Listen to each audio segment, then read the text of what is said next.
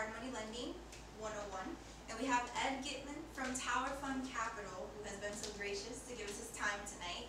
He is extremely experienced in this topic, and he's going to cover a lot of the ins and outs of hard money lending, how it differs from traditional lending, how it is you go about it. And for those of us who are real estate agents, I think he's also going to cover how we might be able to earn extra income uh, through some things that they've got going on at Tower Fund Capital that are really special. So without further ado, Ed, Thank you. thank you. Thank you very much. All right.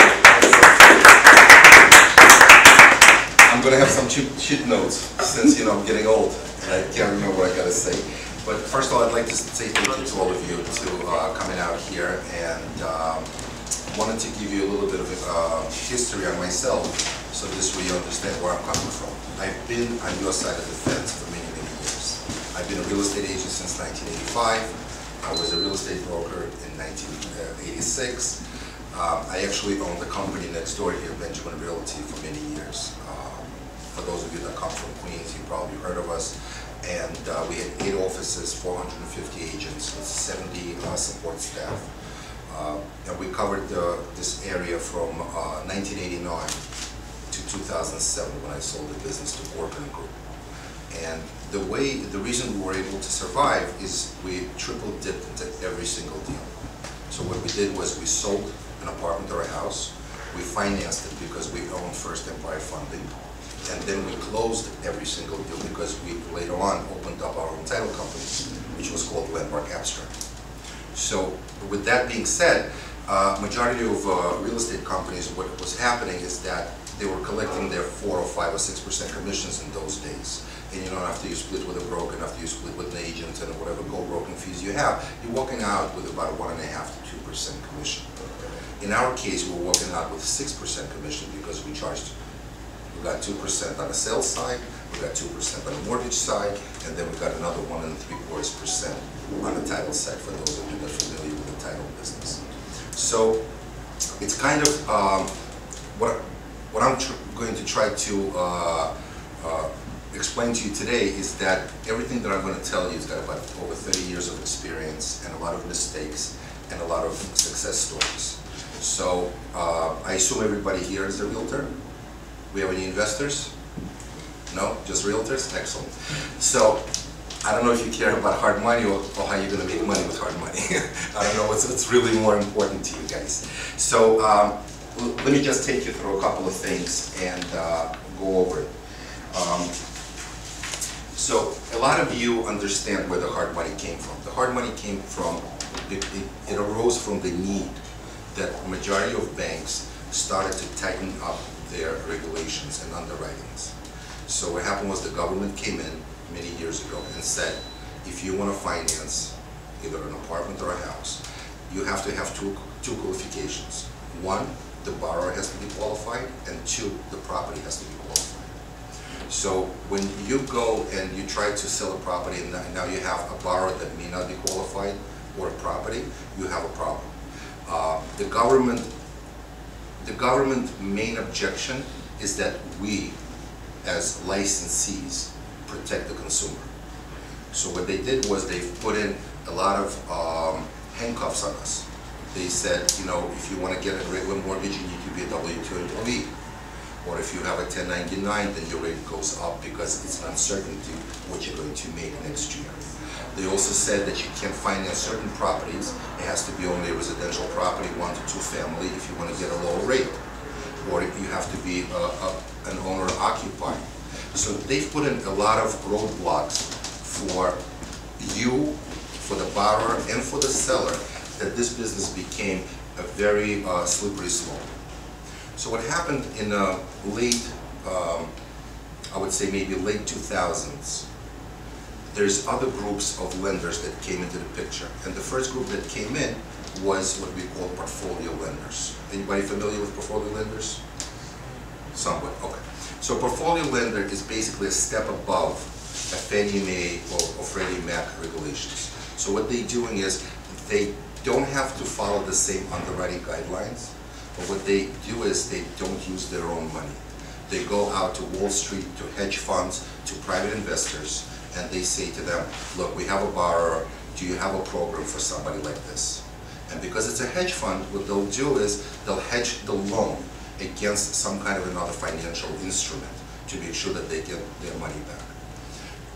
Because they're offering sort of like a modified financing, what they do is they raise the rates.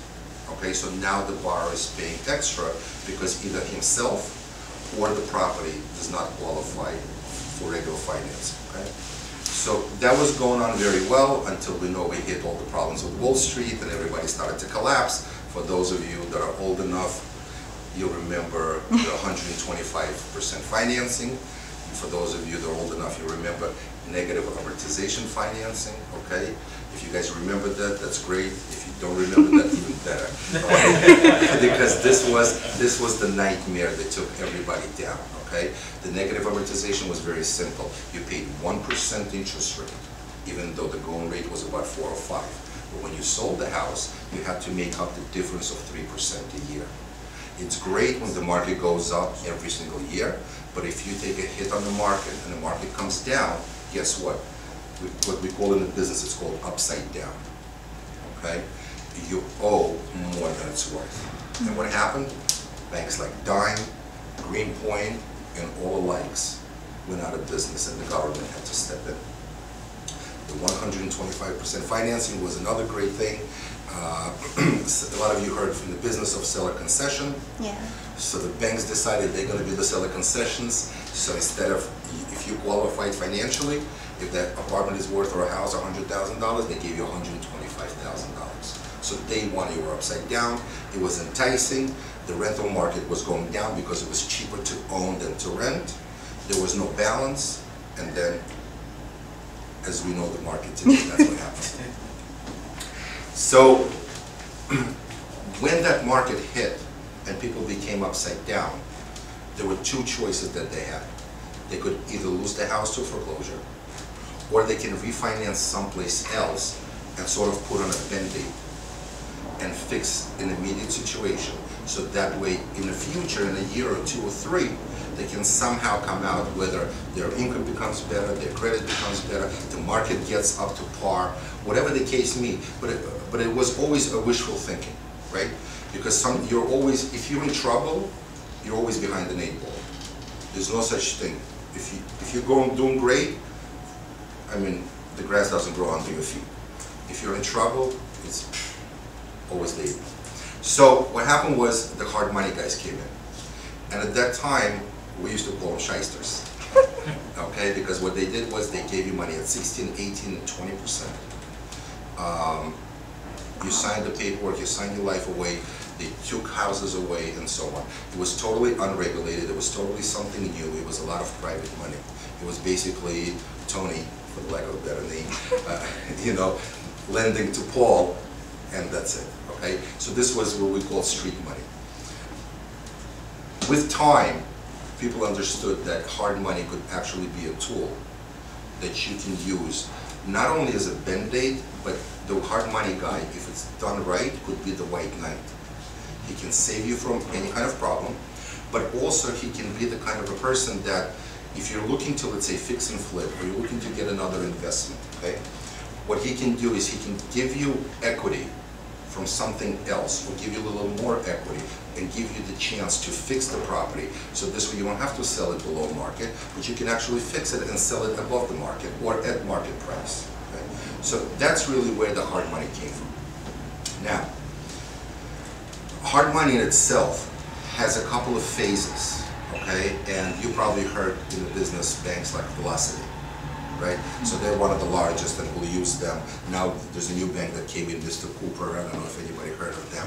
So, uh, these banks came in and they said, you know what, we want to get into the hard money business.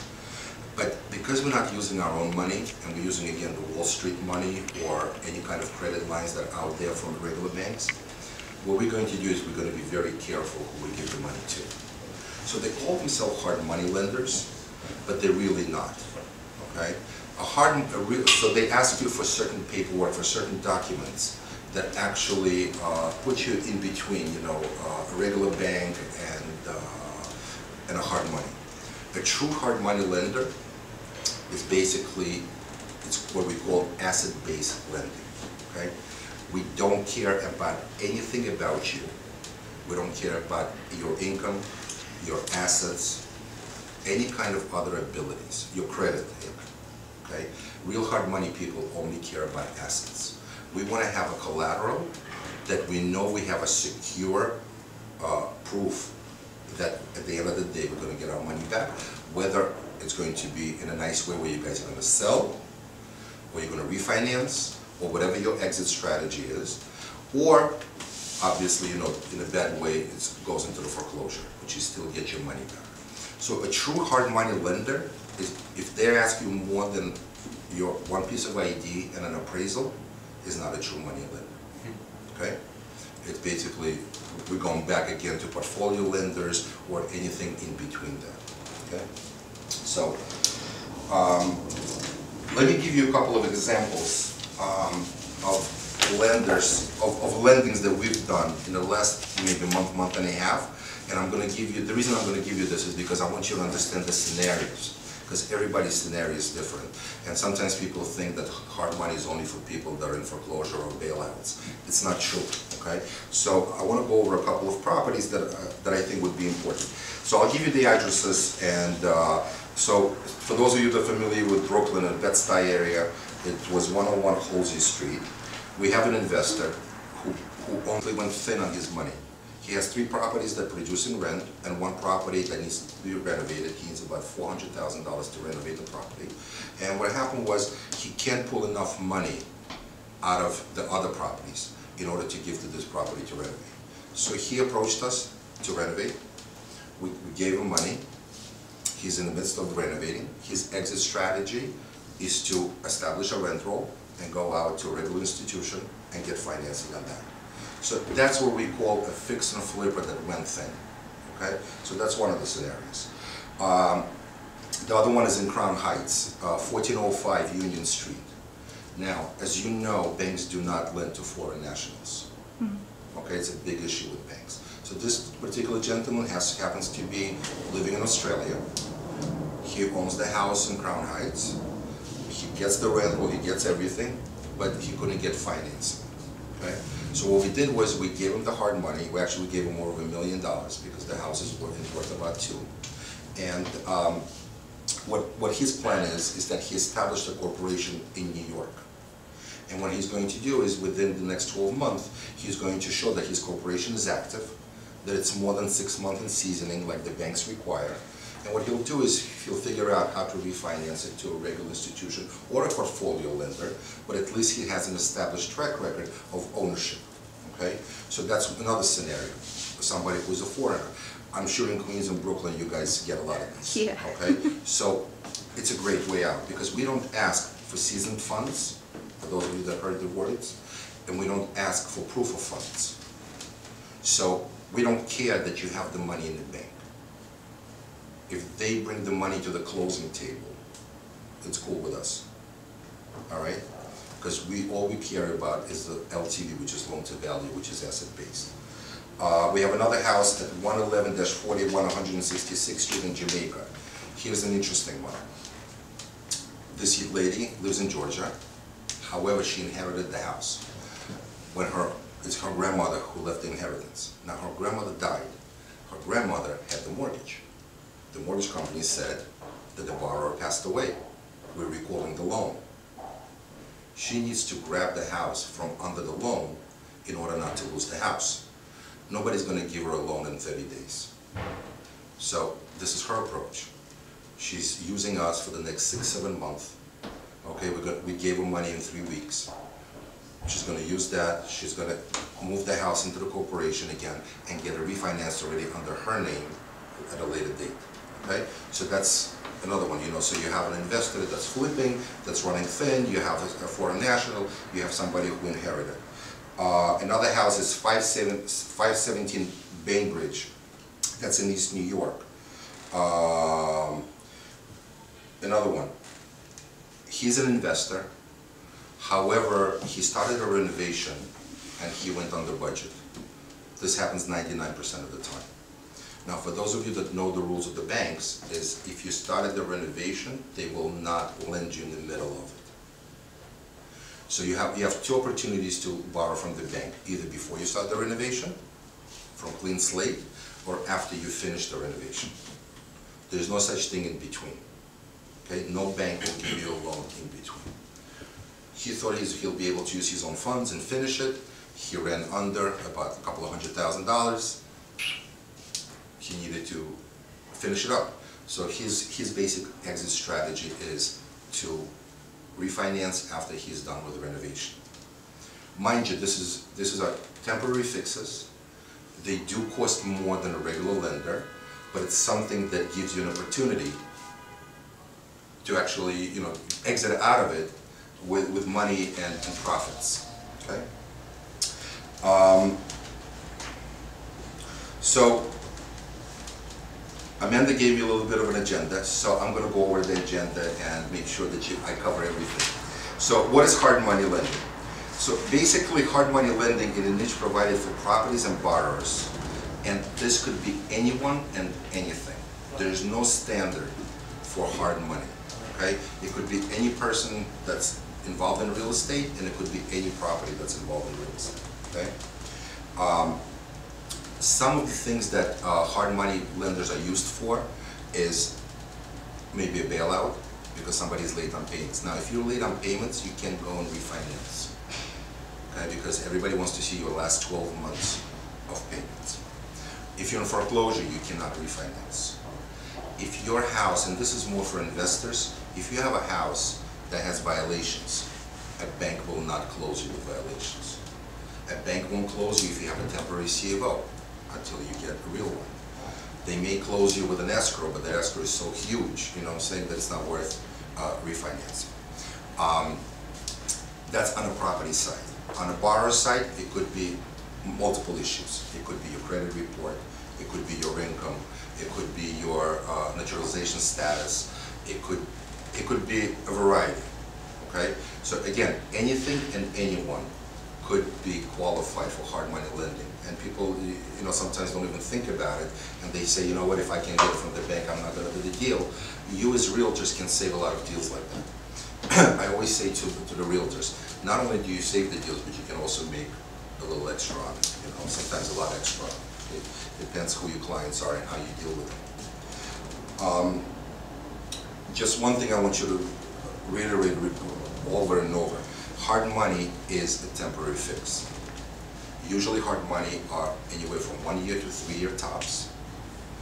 Um, Majority of hard money guys would like to get their money back in one year. Okay? And whoever you speak to, whoever is trying to obtain hard money, they have to have a clear exit strategy.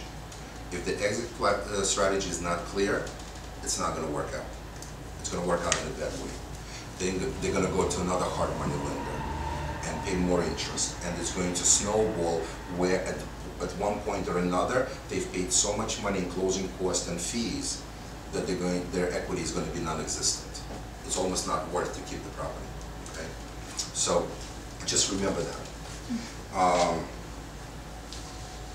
So, the other thing that uh, Amanda wanted to know is between hard money, what's the difference between hard money and traditional lending?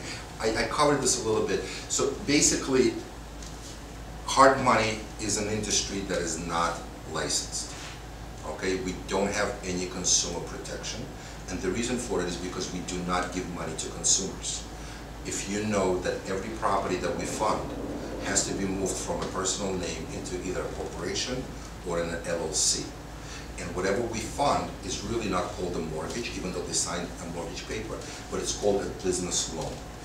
So every hard money lender that you're going to go there is going to tell you, okay, we have a refinance or a purchase, it has to be closed in a corporate name. And it has, you have to sign a couple of papers where we'll say that this is a commercial loan and it's used for business purposes only, and that it's non-owner occupied. So those are the criteria, major criteria in a hard money lender. You can't be an owner occupied, uh, it has to be for business purposes only, and it's a commercial loan. Now, um, you probably have heard a new term that came in into the business a few years back, it's called non-QM loans. You've heard of these? Yeah. Okay. So, non-QM loans, they, they can lend to an individual, but they are protected by consumer consumer rights. So you have, in order to write a con- QM loan, you have to be licensed. Okay? So just, just to give you uh, that information. Uh, As far as traditional lending right now, you know, it's majority of banks that do it. It's basically, you know, qualifications of Fannie Mae and uh, it falls under, you have the criterias of jumbo loans and regular loans and what the rates could be and so on. You also have a a credit score criteria, where in hard money, we don't care about a credit score. You will see, if you do businesses with us, you'll see that we will run a credit report. However, the only reason we're running a credit report is because we want to know that there's no judgments or credit card debt that's, that's not being picked up on the title report. Okay, because the title report will not pick up certain credit card debts unless they're already formed as judgments. And it won't pick up other things. So we run the credit report just for that purpose only. All right? Um, As far as portfolio lenders, today, the non-QM loans really took over for portfolio lenders. There's really not many portfolio lenders out there anymore. Um, There's very few. Right now, you have basically vanilla loans, non-QMs, and then hard money. Those are the three phases right now of financing. Um, So what are some common terms an investor would require to meet in order to get a loan? A true hard money lender, all you need is an AD, an appraisal, and a title. So those are the three things. So the process is very simple. The process is when you reach out to a hard money lender, they're gonna ask you for an application, and it's not a ten oh three. Okay, it's not the one that you get from the bank. It should be one pager, maybe one and a half, just to ask you your name, your phone number, your email. Very simple thing about yourself and the property. That's all it is. Um, do a credit report to make sure there's no judgments and do an appraisal. Because hard money is asset-based, majority of hard money lenders will not lend over sixty-five percent of loan to value or sixty-five percent of the purchase price if it's a purchase, whichever is lower. So if somebody is calling me right now and says, oh, you know what, I have a workout that I did with a bank and I can buy this, right, at a reduced uh, number. Can you finance me hundred percent because I'm buying it for thirty-five cents under, under the value? We cannot do that. Okay, we cannot do that. We need to make sure that thirty-five percent, whether it's a down payment or the equity, the borrower has what we call the skin in the game. Okay, so it's very important. So all the, all these uh, reduced mortgages or these workouts with the banks that that they're doing, it's extremely hard to explain to the person that you still need to come up with the cash. Okay, so that's, that's another thing. Um, What else do we have here, Amanda? Oh, what does ARV, after repair value, mean and how would an agent investor calculate for this investment? So a lot of times with the fix and flips, uh, or people that are acquiring properties who want to refinance and want to, let's say, fix up the property, what they'll do is they'll come in and say, you know what, my property is worth five hundred thousand, but when I finish renovating, it's worth eight hundred thousand. So in these cases, we do allow a an allowance for renovations, but it's done in two steps. The first step is, what is the property worth as is, the way it sits today? So let's say the property is worth five hundred, like they mentioned, we'll give them sixty-five percent of that. Now they're telling me that it's going to be worth eight hundred thousand after they renovate. We're gonna ask them what is their renovation budget. Because if their renovation budget is three hundred thousand, it doesn't make sense, right? So let's say their renovation budget is a hundred thousand, for argument, making numbers even. We'll give them another sixty-five percent of that hundred thousand, but we will give it to them in phases. So if, let's say it's a hundred thousand dollar renovation, let them put in the first thirty-five.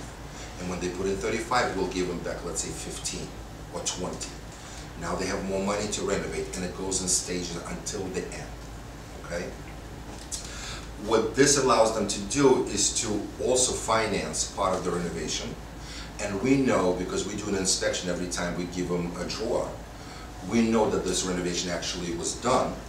So this way, we can be assured that our collateral is protected, and they're not lying to us and saying, yeah, I did the work, okay? Because they can get invoices with no problem today. So that's how the ARV works, okay? It's after renovation value. Uh, a lot of times when an investor comes in, uh, when we do an appraisal, if somebody's not asking for renovation allowance, we will do a straight appraisal. When they ask for renovation allowance, we ask the appraiser to do two, it's one appraisal with two values. One before, as is, and one after.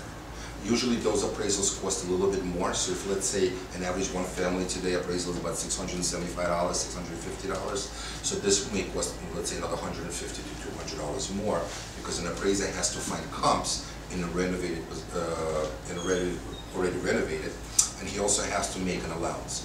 But in all cases, the appraiser will ask for a budget, because they wanna make sure that the budget is realistic okay, that they're not under budget, because if they're under budget, we're gonna be underwater with them. And if they're over the budget, if we're not giving them enough, they're gonna run out of money and go thin again. So, that's what ARV means, okay? Um, What is, what defines a low, medium, and high risk? Okay, so, a low risk to us is an investor that has a track record that's been doing this for many years, that bought, sold, renovated, whatever, they're borrowing for, we wanna make sure that they've done this before, so this is their main business. So to us, this is low risk because they know exactly what they're doing, they know how to manipulate with the building department, they know how to hire the right trades, they know what they need to do, you know what I'm saying? If you have a convertible one family, I call convertible, you know, putting a second kitchen in, you know you sheet rock that wall when the inspector comes, right? So you can unscrew the sheet rock later. So we know these investors, they understand how to play the game, okay? Medium risk to us is, um, investor that's basically dabbles in real estate, okay? He's done a couple of projects, he does it part-time, he's got another job or whatever, another business, and he does it like on the side as a real estate investor. That's to us as a medium risk, because we've seen he's done it before, he's done it successfully, he doesn't have any foreclosures or late payments in the past, and we feel very comfortable with him. The high-risk people are usually the ones that need to- either a bailout, late on their payments, or already in a foreclosure, okay? So, in a real world, you have to be six months out of foreclosure in order to get regular financing. Uh, and you have to have twelve consecutive payments on time in order to get, uh, regular financing. What we'll do is, we'll finance in the midst of a foreclosure, we'll finance right at the auction. Okay, we have a property right now actually that we're looking at, and the guy's auction is coming up. All right, so he needs to get it done now. So, in that case, we will still do it, but to us, that's high risk, which means it's a higher interest rate, higher points, higher everything, okay? Because we have to make sure. Sometimes when we see that it's really bad, we will lower our LTV to maybe even fifty-five or fifty percent, okay? And it's a choice that a borrower has, whether to take it or not. But we feel that um, today in New York, and we do New York and New Jersey. So today in New York, a commercial foreclosure could take somewhere in upwards close to two years. So just on a financial end of it, and you can figure this out, we charge anywhere between seven and a half and twelve percent annual interest rate. However, if you're in default, the default interest rate is twenty-four percent. So if we give you sixty-five percent loan to value, we only have thirty-five percent left over to, to the top. If we're in foreclosure more than eighteen months, we're basically at thirty-six percent. So we're above our money, okay? So we have to be very careful with that. So we, we have given extremely high-risk money, but we've reduced the LTV to make sure that we can get out of this with our interest rate, okay? So that's, that's your answer to uh, low, medium, and high. Uh, What programs does Tower Fund Capital offer? Uh, We gave out the, the the sheets with our loan matrix, but I'm gonna go over a couple of things that are, should be really important to you, so you understand. Majority of people that you're dealing with are brokers. They're either brokers or the- what's we call, you've heard the term correspondent lender? Okay, so there's a couple of phases, or the the different levels of, of lending in, in real estate. uh, on the bank side, or even on the hard money side. So, in the beginning, at the lower end, you have a broker. Basically, he goes out, he brokers the deal to the bank, to an investor, doesn't matter who, it's not his money, he has no recourse whatsoever, you know, he just collected his points and he's gone.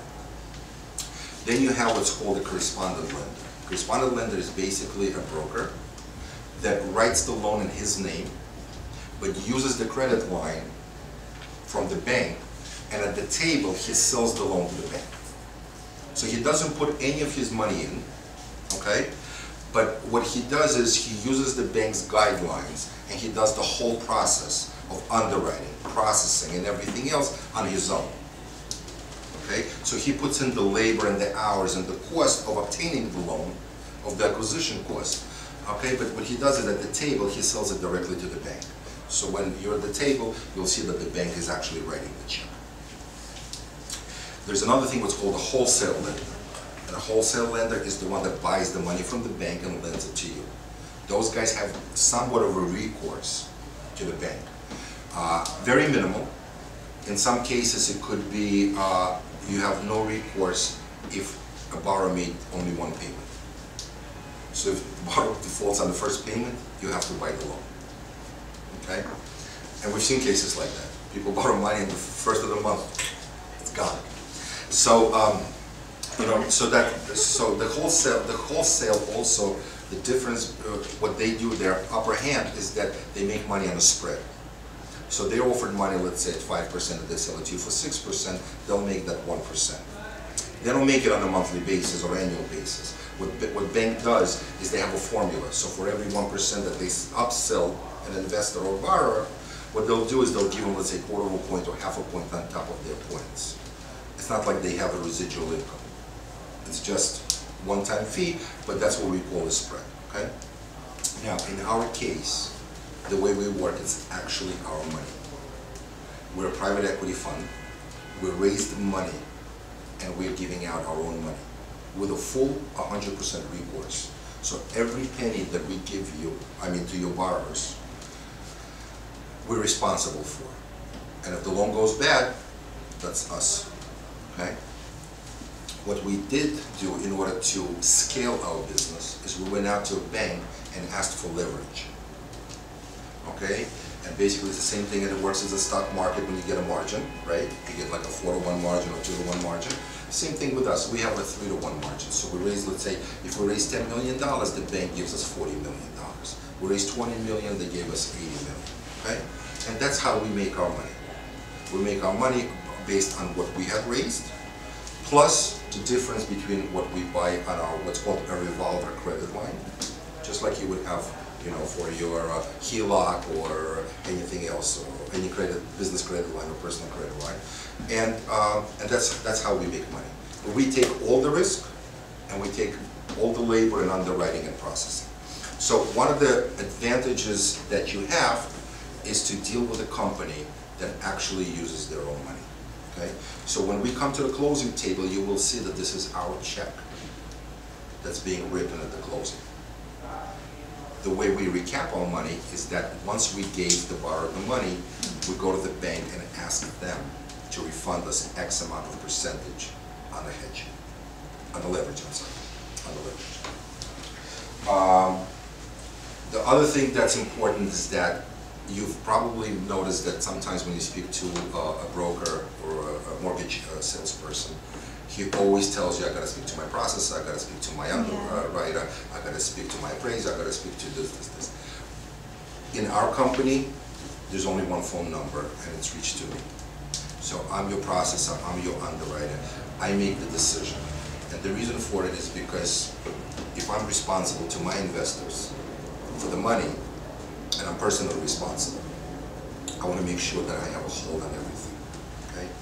Uh, Plus, the size and the amount of deals that we do, I can still have people help me, but I make the ultimate decision. So I look at every single loan myself. When you guys call us with a scenario, I will be talking to you, I will be telling you if this is a go or not. And uh, basically, you have an answer instantaneously.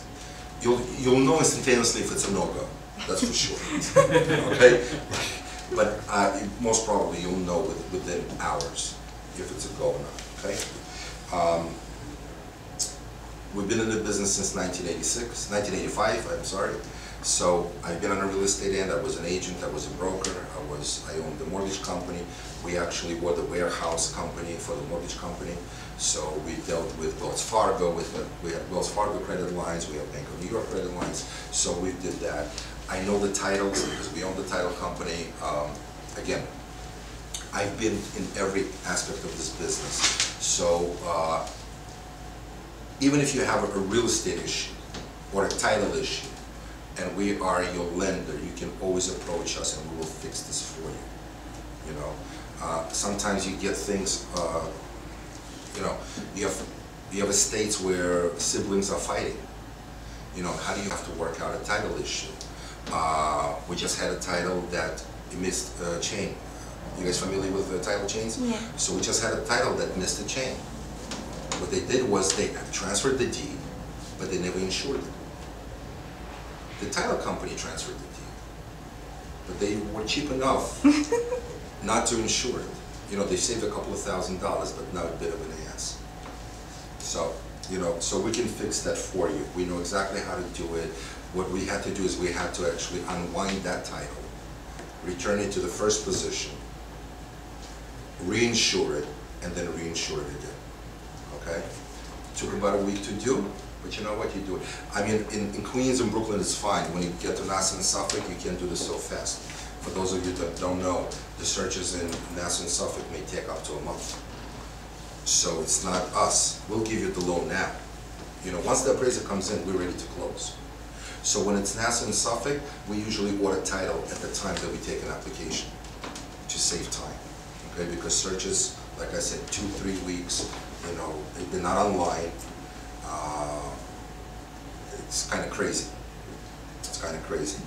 Um, The other thing that I can promise you is that if we issued you a commitment, you're going, you're going to close. The only thing that can screw it up is title. And that's something I can't guarantee, something I can't promise because I haven't seen it. A lot of times, good attorneys have title already ordered even before you guys get to, to us, which is great. Okay, then we can take a look at it and issue a commitment already without any title issues, right? From the phone call to the commitment, it's twenty-four to forty-eight hours. I won't take longer than that. Um,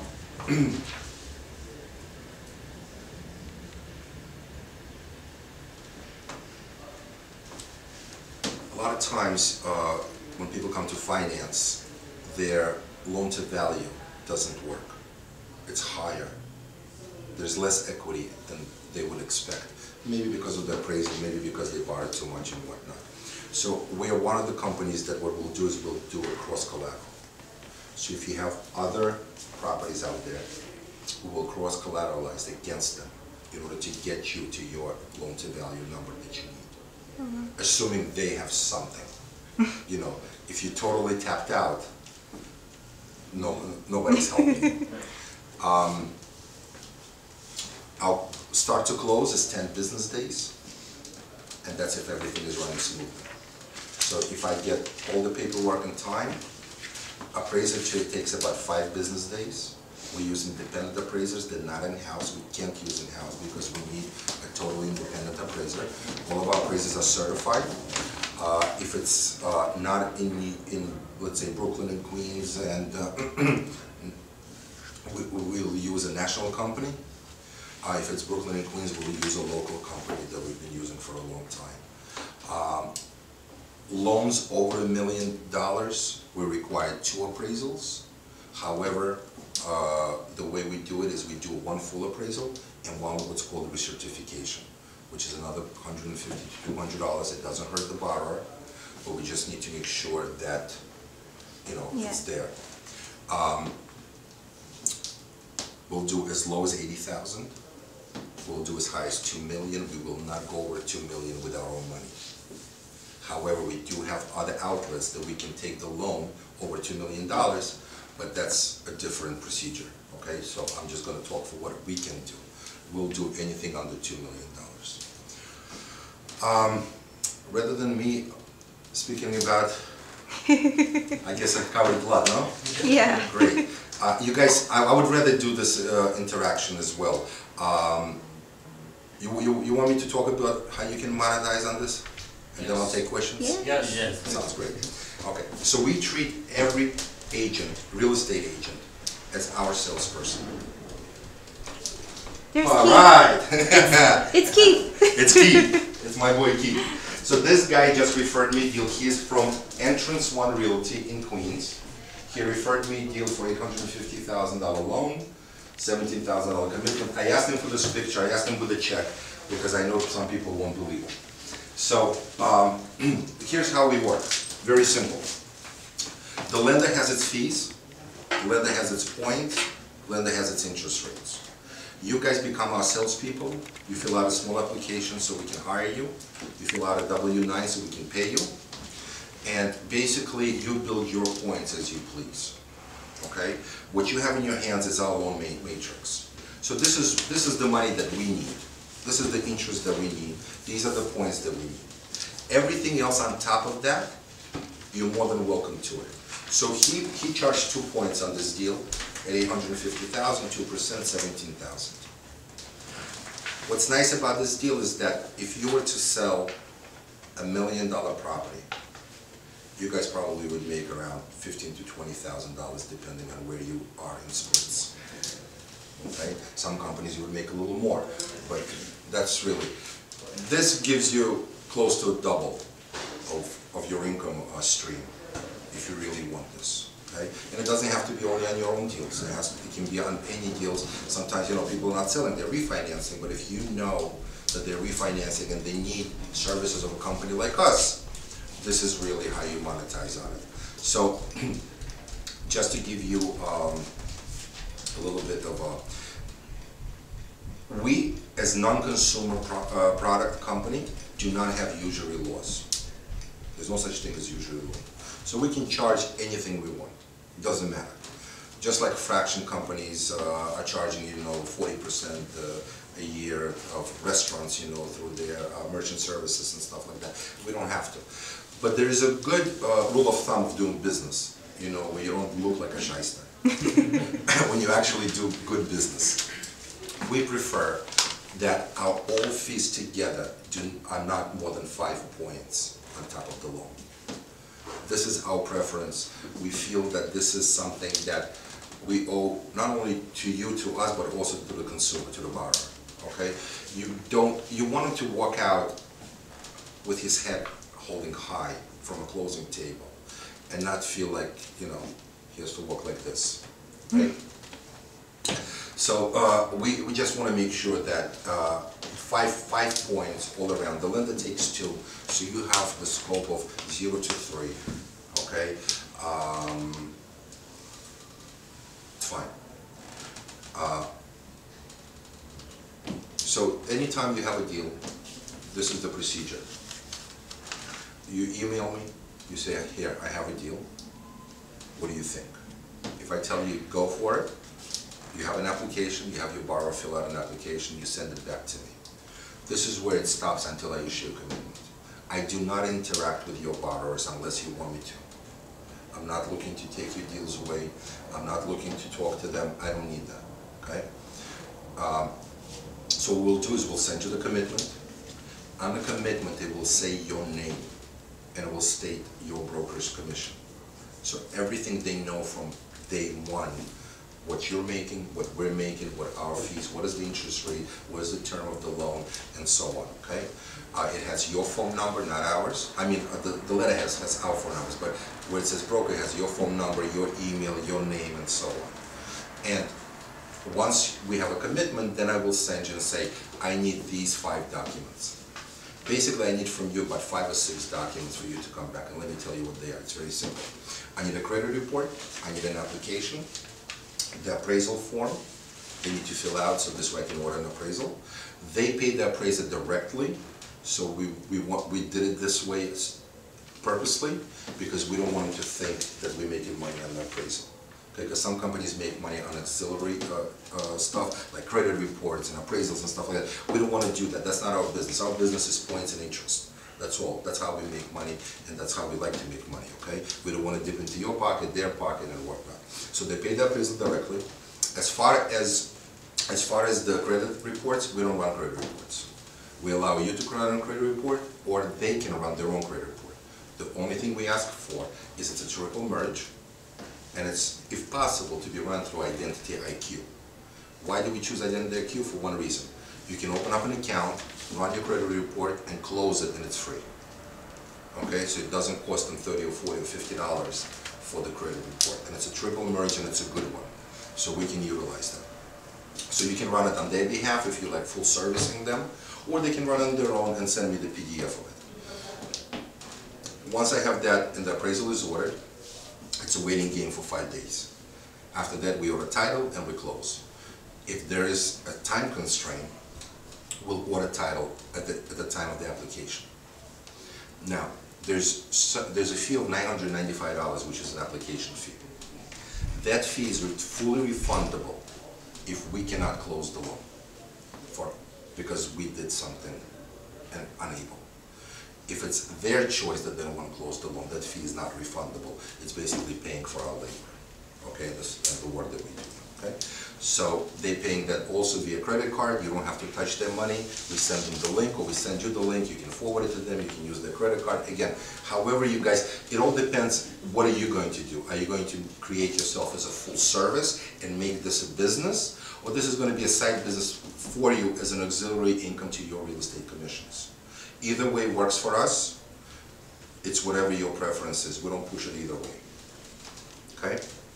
And that's it. And once at the closing, you have a couple of choices. You can come to the closing, or I can deposit money into your bank account. That's one of the services that I provide. I go to your bank and do a direct deposit, I take a picture of the check and I text you. Okay? He does.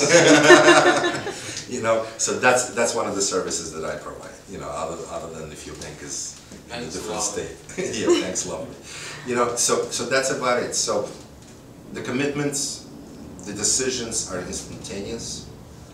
Closings are simple. Uh, We have, we, we send all the documents before the closing so the attorney and the bar can review them. So when they come to the closing table, they have no questions. There shouldn't be any question whatsoever. We give them the closing statement to the penny, other than maybe a couple of hundred dollars off, because in the morning, when you close, title is gonna run what's called a contin, continuous of title, to see if there's anything else. So there could be discrepancy in a per diem interest, could be discrepancy in a water bill, a tax bill, you know, so those things come up, but they're usually, you know, peanuts. Okay, and that's it, and that's how we do it, okay? We have an attorney uh, that's representing our company. We've done a lot of closings by mail.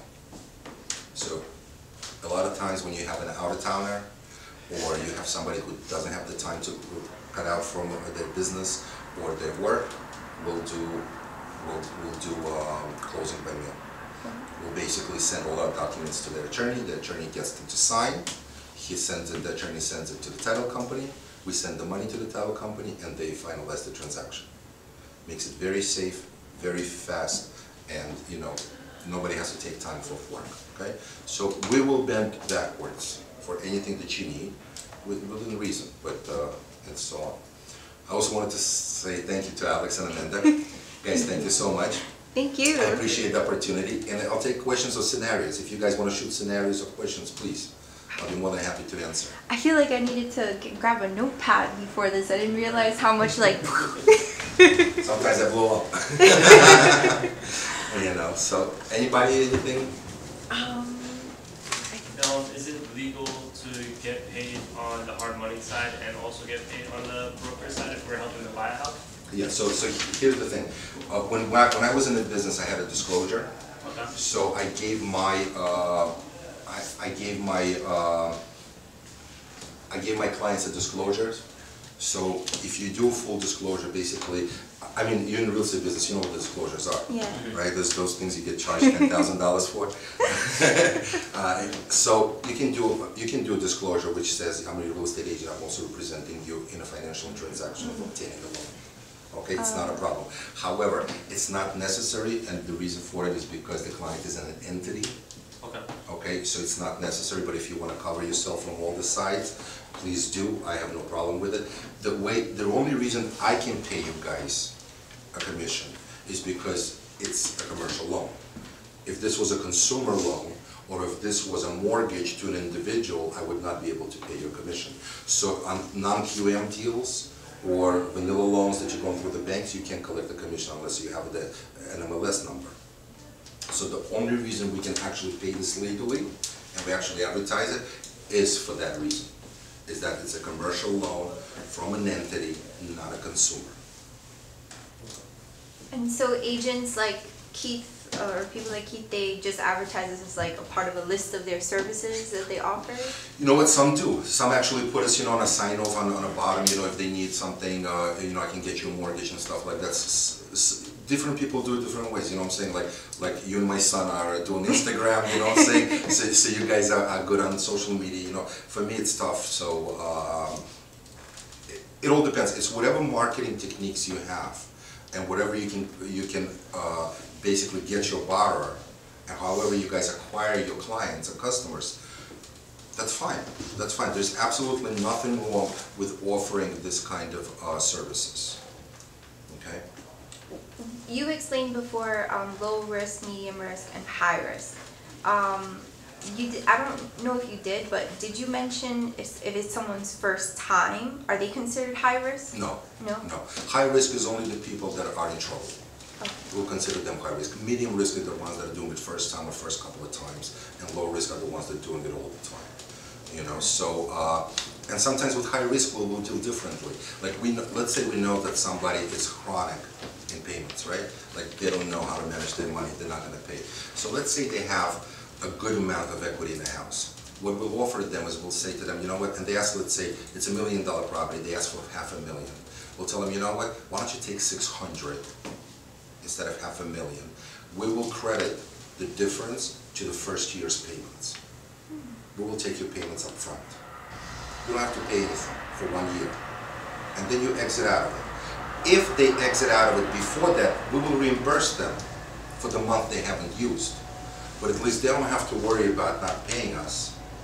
And when they go now to refinance, they, uh, usually the new bank asks for the, the record what we do is, we put in our mortgage that they prepaid us for X amount of months.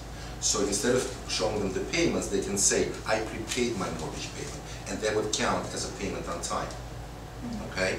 So we've, we've done that, actually with an Australian uh, guy on on Union Street, that's how we did it. He prepaid one year upfront. Okay? Because his uh, uh, equity allowed him to do that and it worked out. And uh, he knew that from uh, Australia, he won't be able to, you know, send me the checks every month. Yeah. You know, because what we do is we do an ACH. He doesn't have a bank account here, so that's it. So that's how we did it. So there's a lot of ways to do it, you know, I'm saying to show them that actually the payments are made. You said Keith, I'm sorry, you said Keith, um, made two points. Do you want us discussing points with the clients, or is that something? you you don't, you don't have to, you can quote them already a, a full deal, okay? You can quote them, let's say, let's say rate seven and a half percent and four points. You know that two points being taken by the lender, two points being taken by you. Um, Okay, so you don't have, you don't have to discuss with them, but they're gonna see it. So I believe it's better to preventify than put it out. Mhm. I would definitely do it, and there's not, I don't think it's anything in- of an embarrassment for you to earn a living by providing Yeah. service, you know? You, you tell your listings that they're gonna charge you five percent. So yeah, one hundred percent, I would, look, I believe in full disclosure. That's how you get, you know, you don't get into trouble, you know, and I believe in tracing everything with emails and documents. Like, I have them sign a commitment. Now, sometimes people say, oh, I don't have to sign a commitment. Yeah, no, I want you to sign a commitment, because that's where the terms are. So if, let's say, we come to the closing table and you say, well, you know what, you promised something else, well, really, here it is. Hmm. That's it. I think disclosure is the best. Um, since, oh, I'll, I'll just go ahead because I was talking. Ladies first. Uh, you mentioned that if you are going to take out hard money for a property and then do renovations and use hard money to help with the renovations, since it's on like a case by case basis, is someone able to not negotiate, but like, do they have leeway with you to say like, oh, I would need more than fifteen thousand for the first round after I give my round, or is it like a strict payment No, scale? it's never strict. This is basically you coming to a boutique. Okay. You know, you're not coming to a supermarket, you're coming to a boutique and you say, you know what? Because sometimes somebody will say to me, you know what? I can't make a ten percent payment. I can make an eight percent payment.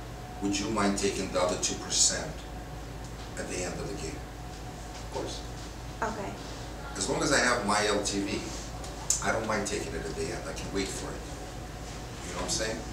I just want them, our biggest, our biggest concerns are very simple. That they can make their payments, because if they can't make their payments, how are they gonna repay it? And that they have a clear exit strategy. And if they don't, we'll help them with a clear, with a clear exit strategy. Okay, it's part of our job. Uh, and the reason for it is because we actually don't own their property. We want the money. We want the money back so we can turn it next time, right? And the sooner they pay us, the better we're off because every time we turn, we charge points, we charge fees, right? So we make more money. It's like, you know, driving a cab. Yeah. The more stops you make, the more money you make, right? You don't make on a long trip, you make on short ones. So this is the same thing. So we want our money back and we want to make it as easy as possible for them to pay during the year and to pay back to us. So if let's say somebody came to us and they're in trouble and they need, um, let's say, fix their credit, we'll point them in the right direction to an agency that will fix their credit. And some of the agencies vary from thirty days to not, to about nine months. You know, depends how bad it is. But we can fi, we've fixed credits in three to four weeks, and we fixed them, you know, it took about nine months to a year. So it, it happens, okay, you never know. But at least, we, if we can be in control, well, let's say you have, um, you you have a program right now, I don't know if you guys heard of it, bank statement programs? You've heard of it? So, non-QM loans and some portfolio lenders came out with a program that's called a bank statement. So you need a minimum credit score of, I think, of about five eighty, which is low. Yeah.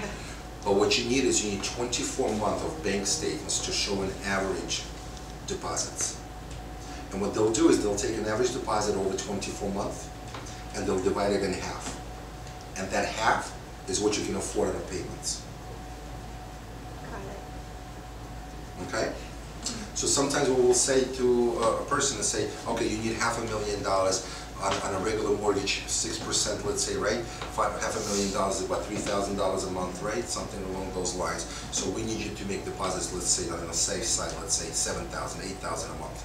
Okay, we'll give you a two-year loan for two years, borrow from your friends, I don't care where you borrow from, put in eight thousand dollars, take out, put in, take out, put in, take out. If I can prove the deposits of eight thousand dollars for twenty-four months, I'll get you out of this deal about, like, I just got somebody the same, uh, program, five, five ninety-five, a, touch under six, okay? No docs. Two things, credit over five eighty, and uh, 24 months. Now, they have right now also a 12-month bank program, but that rate is about seven, about 7%, I think, seven and a quarter, something like that, okay? So we have resources to take the borrower and exit him out, you know? But once you become our salespeople, basically what we'll do is we'll teach you that stuff as well, so you can maybe double up on your income, you know what I'm saying? You can bring them in first, collect, then take them out to another lending institution and make another point, so, you know. So it's, one thing I can tell you is this, anybody who borrowed money, hard, anybody who borrowed hard money before is a comeback customer. Because they either always invest or they never learn. So either oh, way, so either way, they keep on borrowing. It's the same, in this business, it's great. You acquire it once, it's a lifelong relationship. You know what I'm saying? So just trust me. Anybody who is back on his payments, he'll, he'll go back on it as well, again. Anybody who's investing, he will keep on investing. He'll come back to you because he knows it's an easy process. It's a little costly, no question about it, but it's easy. You know, you're dealing with a person, not a machine. You, you have the money in ten days. It's a good thing. Okay, so just one thing. If you guys acquire these customers, you'll have them for life. Um, do you have copies of disclosures and all that stuff, if anyone did sign up? I can get you a copy. We, we don't do it, but I can get, I can get you a copy of disclosure. Okay. I can, s- I'll have my attorney set it up, and as a courtesy, I'll give it to you guys. Oh, thank All you. right? Sure. Anything else? Any other questions? No? Let's party. That was, that was great. Thank right. you. My pleasure. Thank you so much.